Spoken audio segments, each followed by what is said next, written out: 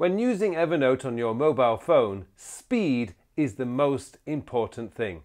In this week's episode of Working with Evernote, I'm going to show you the fastest way to get your ideas into Evernote.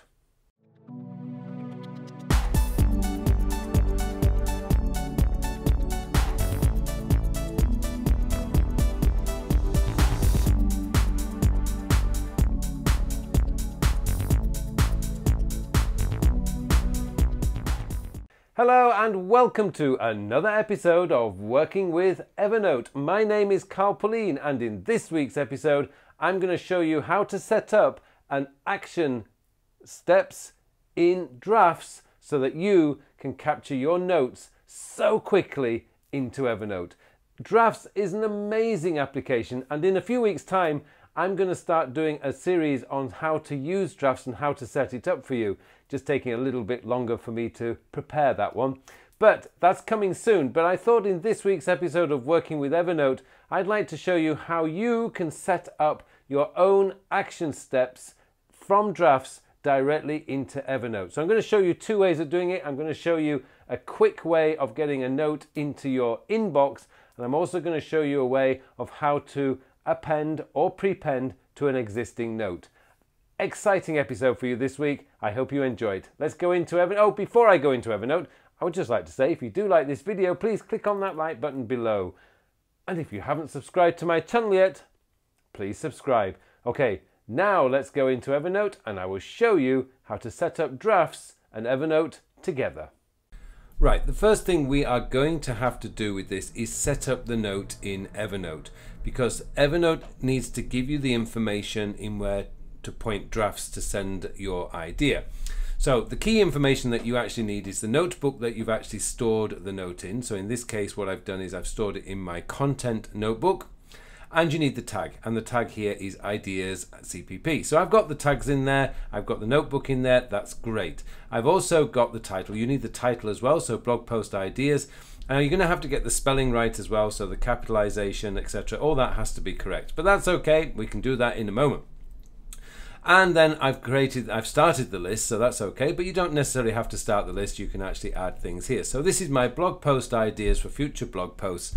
And what I'm going to do is I'm going to create a a, an action step in drafts that's going to allow me to just quickly capture my ideas and throw them into Evernote. Okay, so let's go into drafts now and I will show you how to set up the action step.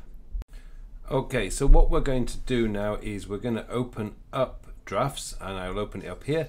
Now when you open up drafts it starts off with a great idea. So you've got a wonderful setup here. You just get typing straight away and then you can send it wherever you want. Now if you have a look at the top of my keyboard there you've got a tick sign, the Evernote sign, a shopping basket sign. I can actually even use audio and audio is by the way is just fantastic. So essentially what I would like to do is let's just say I want to create a note and say this is just a test, this is a test and I'm just corrected that one and I want to send that to Evernote all I do is click on my Evernote icon here and boom off it goes I could also this is another test now I'm not going to go into too much detail in this particular episode on how to set up drafts. I've got a new series coming in the next week or two which will go through all the basics that you need to know about drafts. But what I want to do is just show you how this Y Drafts is such a fantastic tool to have on your iOS device. And this also, by the way, works on iPad. If I wanted to and I don't have the what I want there, I can actually tap on here and I have a number of options here. So I can actually send it to another general note, which I'm going to do, is actually the same as what I do in my keyboard. Now that's gone off onto my Evernote inbox and that is fantastic. But the question we want to ask ourselves is, how do we set this up? Well, the way to set this up is, first off, is go into that top right hand corner where you've got the drafts icon and click on that. And down at the bottom right, you'll see the plus. So I'm going to hit plus and it say add new action. So I'm going to add a new action.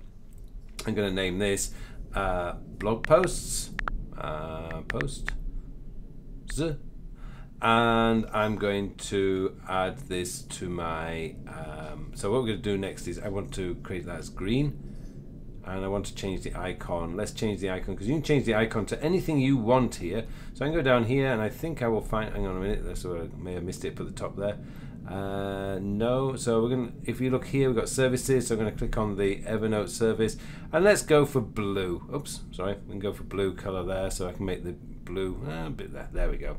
Right, and then what we can do is go into steps, and this is the key part. So no steps defined, so we hit on the plus up the top, and now I can go down here. So we're going to look, looking down here, and we're looking for Evernote, so I'm going to hit on Evernote, and I need the note title.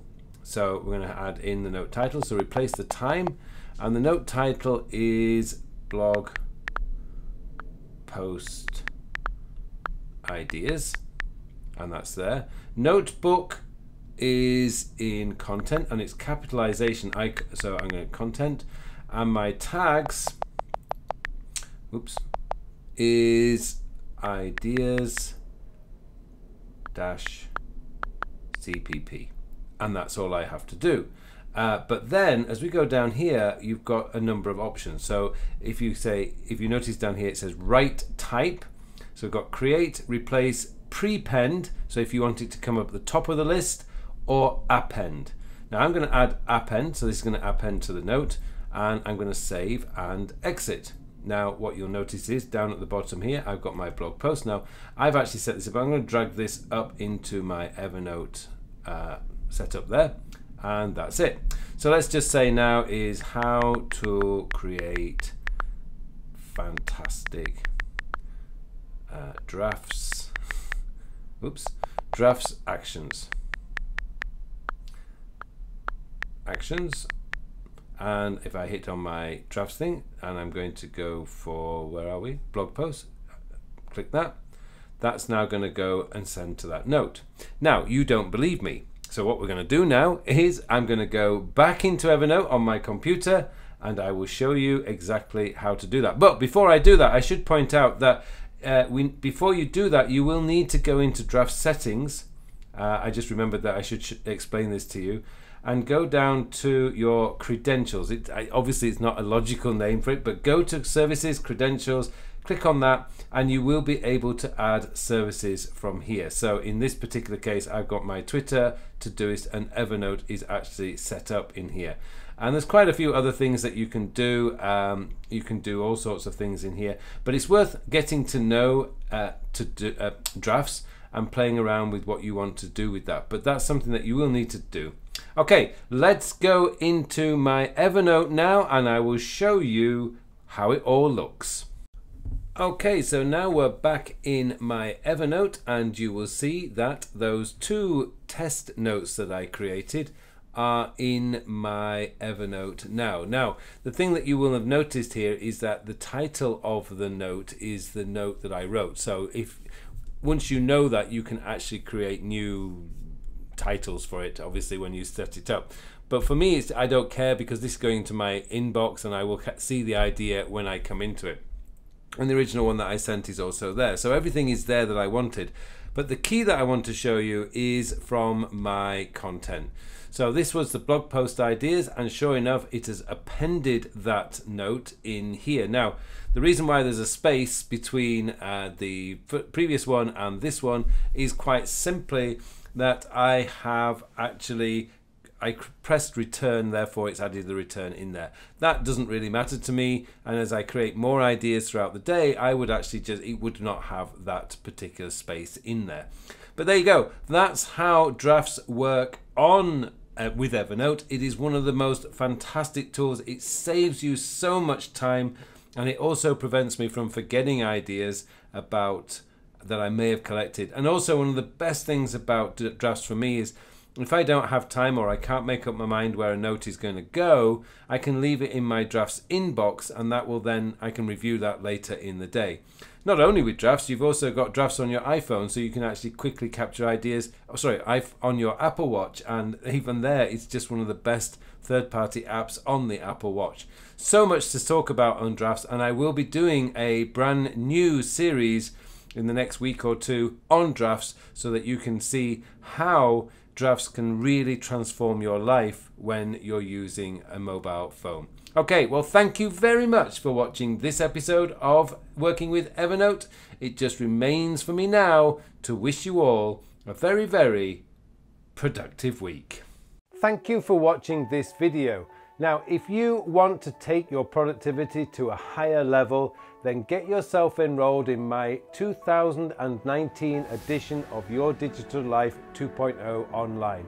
It is a complete, comprehensive productivity and time management course, and it's a course that will take you to levels of productivity you have only ever dreamt of before.